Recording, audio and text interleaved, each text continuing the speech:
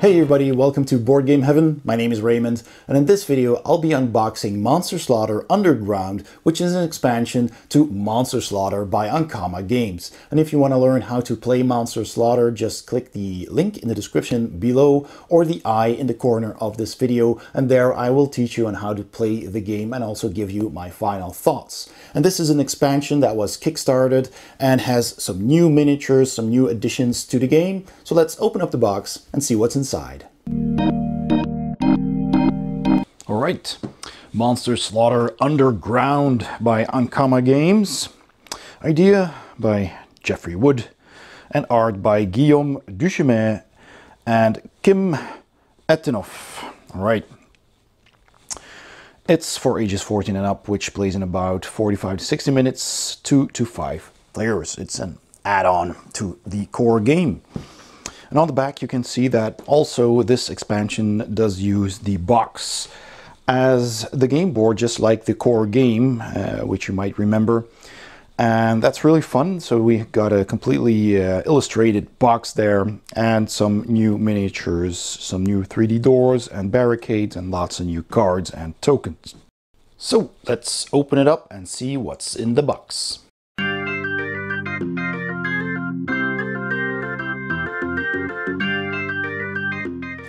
Okay, so the bottom of the box is a printed sheet, which Ankama often does, supposedly to uh, make the game for different languages. This is, of course, the English back of the box. And inside, first of all, we've got the rule book, which is just a thin booklet, uh, 16 pages with uh, a table of contents and it has an overview of all the components that we will see and how to set up the extra uh, well, the, the extra parts. So you got here a trap door to the basement, uh, which brings you to this tile, which is pretty cool. And new cards. And what they do. So all the the cards are described here, are explained. There's a turret trap as well.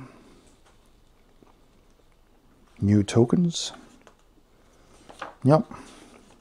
And there's new scenarios. So that's pretty cool. Five new scenarios there. There is a player aid, which is very convenient. So let's see here. We have uh, all the different monsters from the core game, which is nice. I'm not sure if that includes the stretch goals or not. I think it does. Yeah, because that's quite a lot. That's 11 types. And all of the party guests, including the new uh, agents from this expansion and it's double-sided so it also explains the game turn which is very convenient. Um, the actions you can do moving peeking scaring searching smashing a door attacking. There's mutation there end of the game and some additional rules that you mustn't forget so that is very convenient to have. It's a bit thin paper though. I mean, uh, a player aid would have been handy if it was a bit stronger cardboard. Uh, but it's pretty big, you know, and you, want, uh, you probably want that just somewhere on the table where everyone can see it. Piece of cardboard. We have uh, a sheet of tokens. That's pretty cool. Here's a, uh, a strong box there with uh, ammo, I suppose. And there's a new 9 o'clock token. The agents, more of their tokens there. We have these uh, bolts and the turret and the trapdoor over here. And all of that is, of course, double-sided. So that's pretty cool. All right. Wow, let's see. We have this insert that holds the cards and the token. So there's spots for all of the different tokens here. So you can, uh, I'll just show that because there aren't that many. You can put that there. You can put the nine o'clock token over here. And I suppose you can put this here as well. maybe even this. then we've got a spot for this, and there is a spot for this. It's pretty fun. And we have a spot for all of these bolts here. They made a spot for everything. I believe these go here. And that does mean that I think these two go here. Yes, they do. So they made a hole so you can take them out like that. So that's where all of that stuff goes. Well, this is a smaller one, so I'm not sure if that goes there or not, but yeah, I mean, there's room. It doesn't really matter. So yeah, so you have some additional room for all these uh, tokens. But let me just take that out. I'll take a look at the miniatures in a bit because here you can see that the box itself is a game board, which is pretty cool. So this is the basement. And there's the stairs leading down. And there's a workbench there. That's pretty cool. Look at the old radio. Some vats of chemicals. There's a, um, a motor there with a pump with a, uh, with a tube and a little table there. All right, that's pretty awesome. Uh, so let's take a look at the minis then. Shall we start with the with the turret? So that's pretty fun. It has these small wheels, so you can you know you can put it down like that, and you can roll it so it's mobile. It's got these two big guns there it's pretty cool. So yeah, it's pretty nice. Fun looking little turret, actually. You can see the bullets there as well. It's pretty detailed. Really nice. Two grips to point it, to turn it. So yeah, clear treads there on the, on the wheels, profile, all of that. It's really nicely done. You can see the rivets in the metal. So yeah, pretty cool looking turret. All right, let me just put that back that way around, I believe, yes. And then we have the two agents. So this is Agent P. Let's try to get that in focus. So uh, yeah, he's crouched. He or she is crouched. And it's got a big shield there. And that looks pretty cool, like, uh, you know, like a SWAT agent with the helmet and the uh, armor. And there's the, the gun. So yeah, also pretty detailed. You can see all the bags and the grenades on their belt and the radio on the back. The bulletproof vest with the letters on it. It actually says MSUG So that's the first SWAT agent, and here is the second one, Agent S, uh, holding a gun or rifle. And also, of course, fully armored with all the accessories. There's a dagger there. So that's pretty cool. Really detailed miniature. The gas masks on. Nice. So you get those. And then, of course, in the box, we got the uh, 3D doors, which is cool uh, that we got these because the uh, original game came with cardboard doors that you would slide over the edges of these, uh, the walls of the, um, the shack that you're in, the cabin. And uh, they work, but because they were cardboard, after extensive use, putting them on and taking them off, they might they were glued together like a U shape and they would come undone if you used them too much. And you had to glue them back again. And, you know, that's a bit of, how it works, but it's uh, it's a bit of a hassle. So they actually made plastic 3D doors that, of course, won't snap open again. So that's basically the same idea as the cardboard ones, only in plastic, and that won't snap.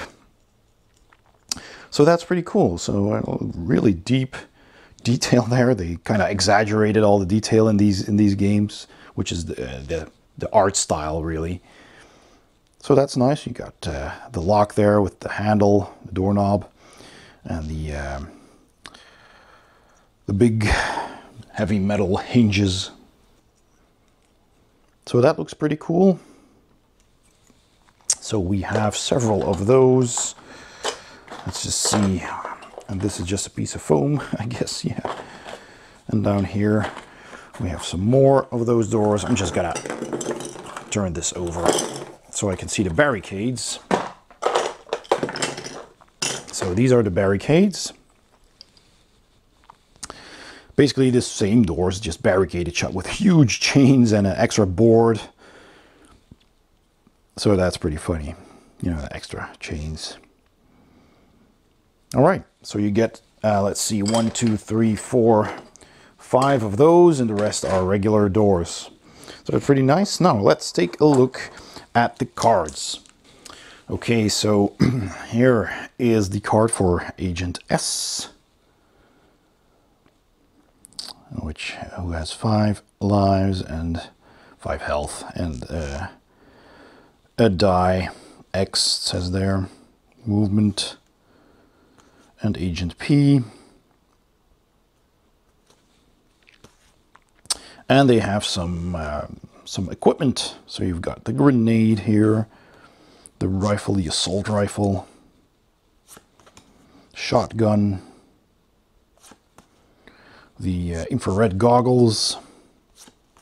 Here's a flare, the fire extinguisher, barricaded doors, chains, the wire cutter. Here's a blowtorch, that's a piece of meat. the taser gun, broken bottle, some uh, first aid kits, some bandages,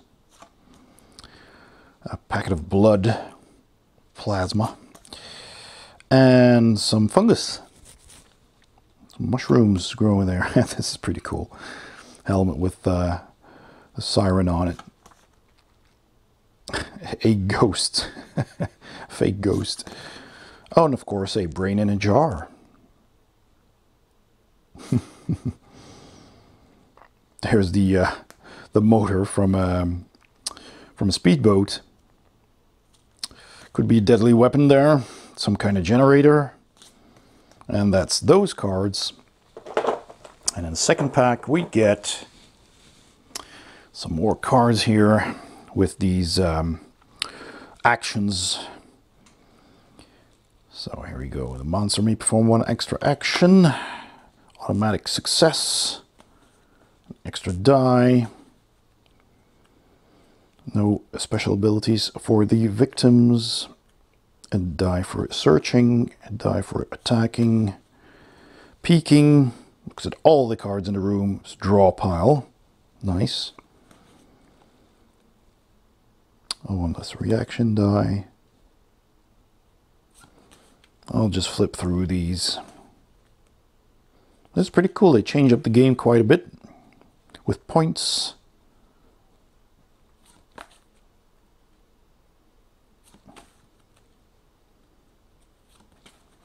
So that's some of the uh, new stuff in this game. Here is the uh, K1B00 turret. Trap. Just put that with these.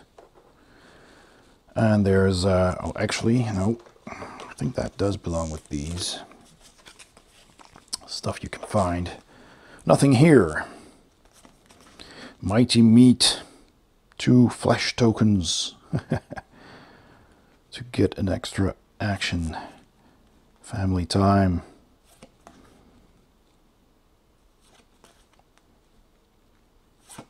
Has quite a stack of new cards to add to the game, which is nice.